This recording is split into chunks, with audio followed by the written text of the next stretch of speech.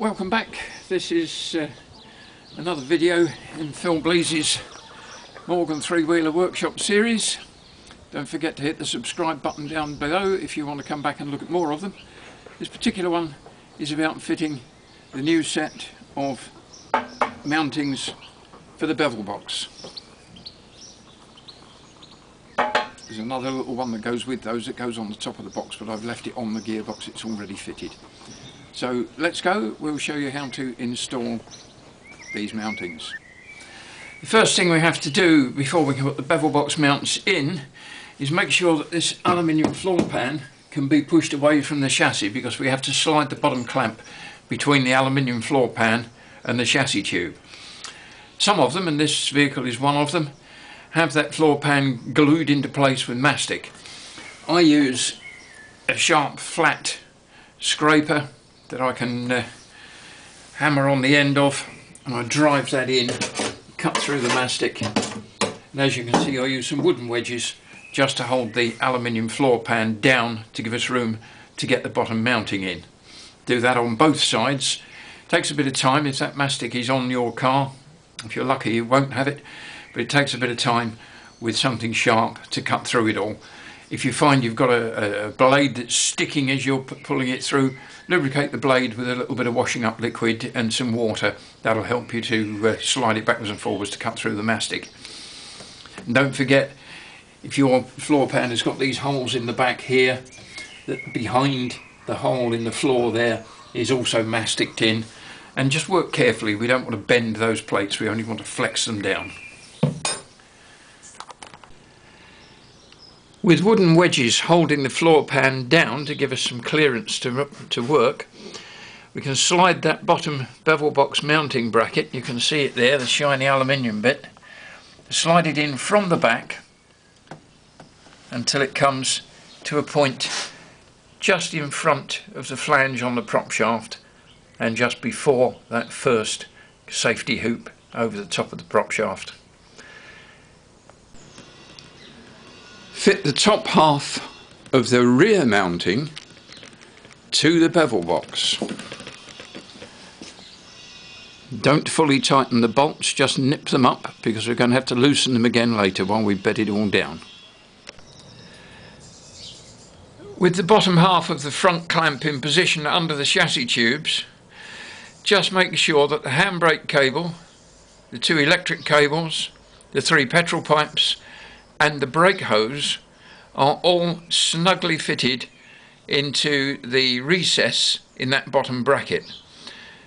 It's best if you tie them down with a couple of cable ties. You can see I've done that there. And then they won't get nipped when you put the top half of the bracket on because it's difficult to see what you're doing. You don't need to zip those ties up really tight, just get them so that they hold the cables all in position in the recess. Place the top half of the front mounting in position above the bottom half. Just leave it there loosely.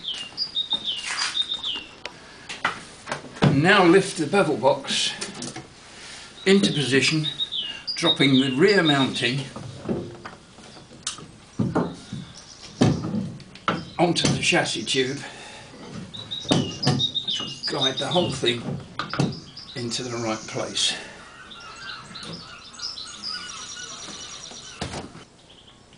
Now drop the two vertical bolts in, put the nuts on and just nip them to hold everything in position. You will see that when we put the bottom mounting in I got it a little bit too far forward so that now has to be slid back and for reference, and I've never measured this before so I'll do it for you now, the front of that mounting is 50 millimeters away from this guardrail that goes over the prop shaft.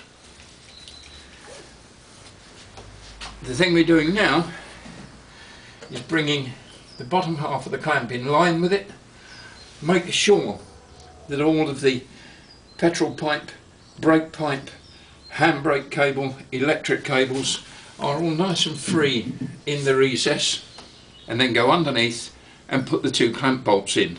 Again, don't tighten them yet.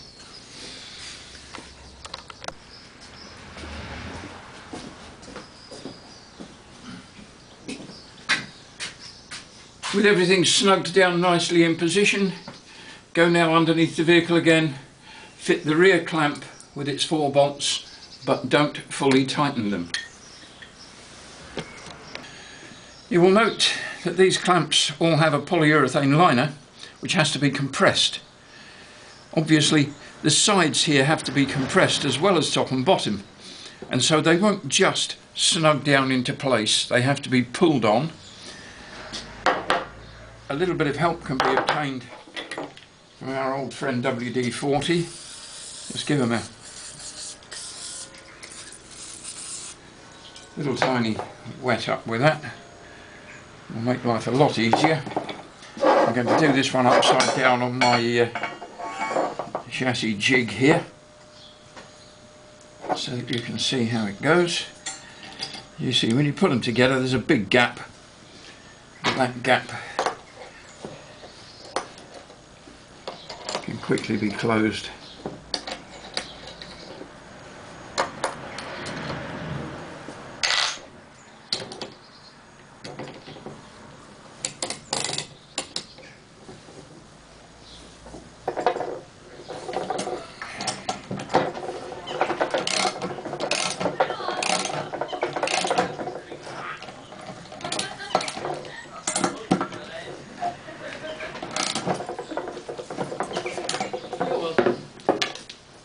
And you should expect to see some of the polyurethane extruded out through the ends.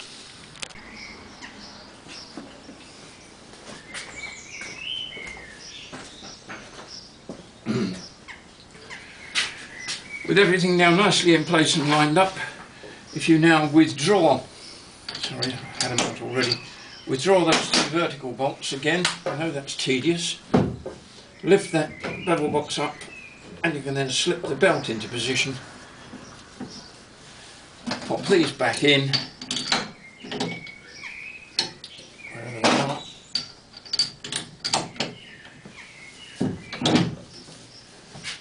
And you should find that the belt goes on fairly easily. If it doesn't you may have to move the rear wheel forward to get enough slack. You can now go around and tighten everything up and the best order to do it in is to tighten first these two vertical bolts and then the two bolts holding the rear clamp to the bevel box. Then tighten the bolts from underneath in the front clamp and then the four bolts underneath the rear clamp. We will then address fixing the top stay. When tightening everything down, don't forget to double check in here that all these cables, hydraulic hose, petrol pipe, brake cable, are all free, front and back, nothing trapped anywhere. And then we won't have any problems.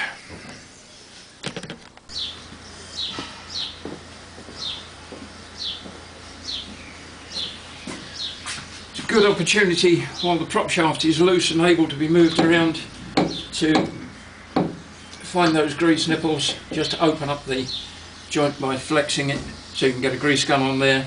And the same on the one on the front. Before we then find our marks for reassembly there they are and put the bolts back in and tighten them right up with a bit of Loctite on them. There is a small aluminium dust guard which prevents the muck from going up onto the seat belts. You will need to flex that down slightly and just put the top mounting for the bevel box underneath it so it snugs up nicely to the chassis tube. Then push it down into place and put the two bevel box bolts back in. With the two securing bolts into the bevel box firmly tightened, now just use the jacking screw to push the cradle firmly up against the top chassis tube.